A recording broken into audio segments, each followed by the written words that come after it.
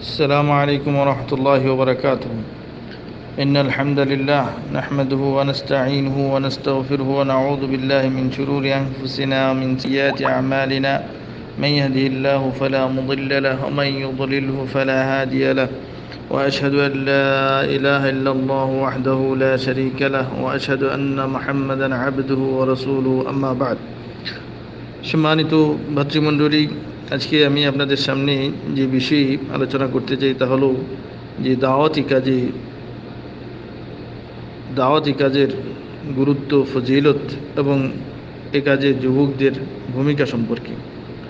মূলত দাওয়াতি কাজ এটা একটা গুরুত্বপূর্ণ কাজ, এটা একটা সম্মানজনক কাজ, এটা একটা ফজিলতপূর্ণ কাজ। কেন যে এই কাজে যারা আত্মনিয়োগ করেছেন তারা হলেন নবীগণ যুগে যুগে অসংখ্য অগণিত নবী রসুলদেরকে আল্লাহ রবুল্লা আলমিন পৃথিবীতে পাঠিয়েছেন এই দাওয়াতি কাজের জন্য মানুষকে আল্লাহর প্রতি দাওয়াত দেওয়ার জন্য কোরআনে করিমে আল্লাহ রবুল্লা আলমিন এই সম্পর্কে ইরশাদ করেছেন আউদুবিল্লাহ শৈতান রাজিম বিসমিল্লা রহমান রাহিম ولقد بعثنا في كل أمة رسولا أن اعبدوا الله واجتنبوا الطاغوت যে প্রত্যেক জাতির নিকটে আমি নবীদেরকে প্রেরণ করেছি যেন তারা আল্লাহর এবাদত করে এবং তাগুতের এবাদত থেকে বিরত থাকে। তো তাহলে নবীদেরকে আল্লাহ রবুল্লা আলমিন এ কাজের জন্য পাঠিয়েছেন। নবীগুণ এই কাজে আঞ্জাম দিয়েছেন। তাহলে আজকে যারা এই কাজে আঞ্জাম দিচ্ছে, আত্মনিয়োগ করছে, তারা মূলত নবীদের কাজে আত্মনিয়োগ করল। নবীদের পেশাকে নিজেদের পেশায় হিসাবে গ্রহণ করল। তো এটা তাদের জন্য যারা এই কাজে আত্মনিয়োগ করতেছে, তাদের জন্য এটা একটা বিরাট সম্মানের বিষয়, মর্যাদার বিষয় সবের বিষয়।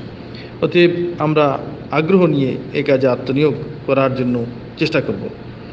এরপরে এই দাওয়াতি কাজ এটা দাওয়াতি কাজের যে কথাগুলো আপনি যে মানুষকে দাওয়াত দিচ্ছেন, মুখের মাধ্যমে, কলমের মাধ্যমে, লিখনের মাধ্যমে, এটা হলো মানুষের কথার মধ্যে সর্বোত্তম কথা।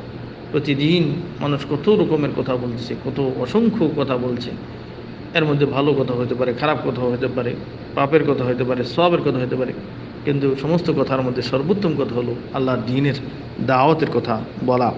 এ সম্পর্কে কোরআনে করিমের সুরফুসিলাদের তেত্রিশ নম্বর আয়তে আল্লাহ রবুল্লা আলমিন এরশাদ করেছেন, ওমান আহসান কৌলাম মিম্মান দা ইলাল্লাহ আমিলা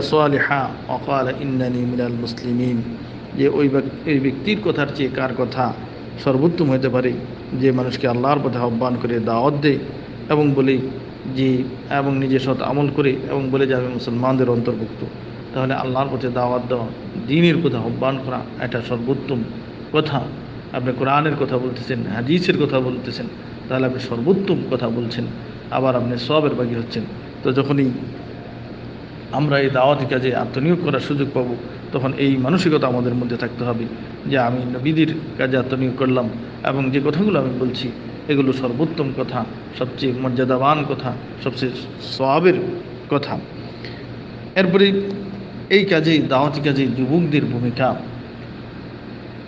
পৃথিবীতে যে কোনো কাজের ক্ষেত্রে যুবকদের ভূমিকাটা অত্যন্ত গুরুত্বপূর্ণ, অত্যন্ত তাৎপর্যপূর্ণ, অপরিসীম।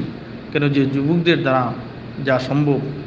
বয়স্কদের দ্বারা, আবার নাবালকদের দ্বারা সেটা কোনোভাবেই সম্ভব নয়। অতএব এই দাওয়াতি কাজ এটা যুবকদের জন্য অত্যন্ত গুরুত্বপূর্ণ, তাৎপর্যপূর্ণ। কোরআনে করিমে লোকমান হাকিম সম্পর্কে বর্ণনা করতে গিয়ে আল্লাহ রাবুল্লা আলমিন বলেছেন যে লোকমান হাকিম তার সন্তানকে উপদেশ দিতে গিয়ে তিনি বলেছেন, ইয়া বুনাইয়া কিমিসাল্লাহ ওমর বিল মারুফ ওয়ানহানিল মুনকার। অসবির আলা মা সাবাকা ইন্না ইন্না দালিকা মিন আজমিল ওমর যে লোকমান হাকিম তার সন্তানকে উপদেশ দিয়ে বলছেন যে, হে আমার সন্তান, তুমি নামাজ প্রতিষ্ঠিত করো। লোকমান হাকিম যখন তার সন্তানকে বলছেন, অবশ্যই সন্তান, তখন যুবক বয়সে যুবকদেরকে, যুবক সন্তানকে তিনি উপদেশ দিচ্ছেন যে, তুমি নামাজ প্রতিষ্ঠিত করো। নামাজ পড়ার কথা বলেন নেই, প্রতিষ্ঠা করার জন্য বলেছেন। কেন যে প্রতিষ্ঠার অর্থই হলো যে, মানুষকে দাওয়াত দিয়ে নিয়ে এসে নামাজ তাদেরকে পড়ানো।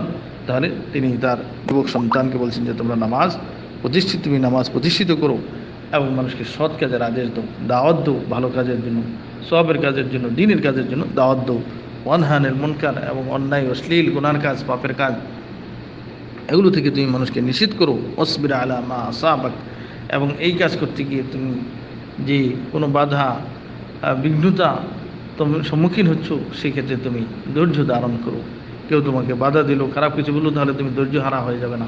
বা এই কাজ বন্ধ করে দিবে না, বরং ধৈর্যের সাথে তুমি এটা মোকাবেলা করবে এবং ধৈর্য সহকারে এই কাজে আঞ্জাম দিবে। তো তাহলে এখানে যুবকদেরকে লোকমান হাকিম, তিনি এই ওসিহত করলেন, নসিহত করলেন, উপদেশ দিলেন। তো এই দাওয়াতি কাজ যুবকদের জন্য অত্যন্ত গুরুত্বপূর্ণ, তাৎপর্যপূর্ণ। এই জন্য আমাদের এই যৌবনকালেই এই কাজে আত্মনিয়োগ করতে হবে আগ্রহ সহকারে।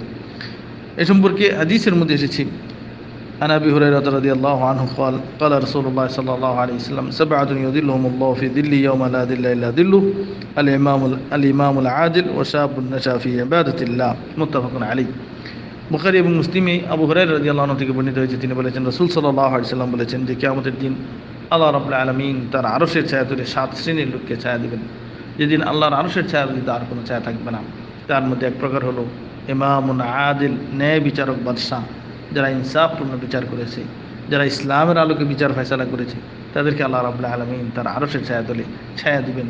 যেদিন আরসের ছায়া ব্যতীত আর কোনো ছায়া থাকবে না। এরপরে পরেই আরেক শ্রেণি, তারা হলো ওই সমস্ত যুবক যারা তাদের যৌবনকালকে আল্লাহর এবাদতে অতিবাহিত করেছে। তাহলে এই এবাদতের মধ্যে অতিবাহিত করা, এটা যৌবনকালকে আল্লাহর এবাদতের মধ্যে অতিবাহিত করা এটা অত্যন্ত গুরুত্বপূর্ণ এই কারণে আপনি আল্লাহর আরসের ছায়া তুলে ছায়া পাবেন সুবাহান আল্লাহ আর ইবাদতটা দুই ধরনের। একটা হলো যে আপনি ব্যক্তিগতভাবে ইবাদত করতেছেন, নামাজ পড়তেছেন, রোজা রাখতেছেন, হজ করতেছেন জাকাত দিতেছেন, এই পরিপূর্ণ সব আপনি পাবেন। এটা আপনার কিন্তু আরেক প্রকার ইবাদত হলো যে মানুষকে ডাকা, দাওয়াত দেওয়া, এর মাধ্যমে আপনার সবের পরিধিটা বৃদ্ধি পাবে। সেখানে শুধু আপনি একাই ইবাদত করলেন না, বরং আরও মানুষ আপনারটাকে সারা দিয়ে তারা এসে ইবাদত করল, তাহলে আপনি আপনার নিজের ইবাদতের সব পাল- পেলেন, আবার তারা যে আপনি এটাকে সারা দিয়ে ইবাদত করল, তাদের এবাদতেরও আপনি সব পাবেন। সুবহান আল্লাহ তাহলে এই দাওয়াতি কাজ এর মানে ভালো দিক, কল্যাণকর দিক হলো যে আপনি তার পরিধিটা আপনার বৃদ্ধি পাচ্ছে। তো এই জন্য আমাদের এই কাজে আত্মনিয়োগ করা, আগ্রহ প্রকাশ করা এবং উৎসাহ উদ্দীপনা নিয়ে কাজ করা। বিশেষ করে বর্তমান এই যে যুগ, উন্নতির যুগ, সামাজিক যোগাযোগের যে মাধ্যমগুলো, মোবাইল, ইন্টারনেট, হোয়াটসঅ্যাপ, ফেসবুক, এগুলোতে আমাদের বেশি বেশি করে দাওয়াতি কাজে আত্মনিয়োগ করা, অনেকে এগুলোতে প্রচুর সময় ব্যয় করতেছে।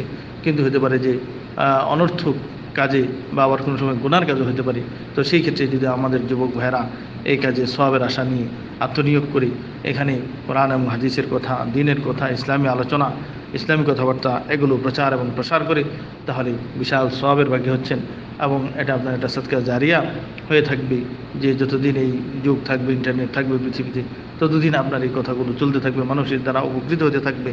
তো এই জন্য আমাদেরকে আগ্রহ নিয়ে এবং সব আশা নিয়ে, সৎ উদ্দেশ্য নিয়ে এই কাজে আত্মনিয়োগ করা এবং যখনই আপনার সামনে কোনো বাধা আসবে, সেখানে ধৈর্যের সাথে সেটা মোকাবেলা করা, কেন যে আপনি যখন ধৈর্য ধরে এটা মোকাবেলা করবেন, তখনও আপনি সবের বাকি হবেন। আপনি এখানে নিরুৎসাহিত হবেন না যে আমাকে কেন বাধা দিল, আমি তো নিঃস্বার্থভাবে কাজ করছি। আপনি মনে করবেন যে এই কাজে যারাই আত্মনিয়োগ করবে, তাদের উপরে বাধা আসতে পারে, নবীদের উপরে বাধা এসেছে, সালমে সালেহিনদের উপরে বাধা এসেছে, আপনার উপরে আসতে পারে। তো আপনি ধৈর্য সহকারে সেটা মোকাবেলা করবেন এবং মনে করবেন যে তো আল্লাহ আমাকে সব দেবে। তো মোট কথা, এই দাওয়াতি কাজ আমরা ব্যাপকভাবে প্রসার এবং প্রচার করার জন্য চেষ্টা করি, সেই সাথে নিজেরাও আমল করি।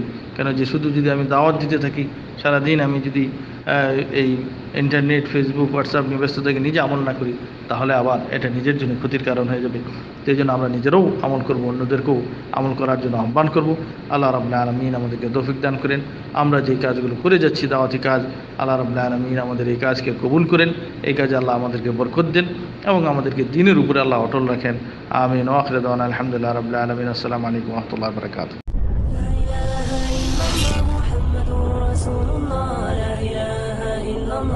محمد رسول الله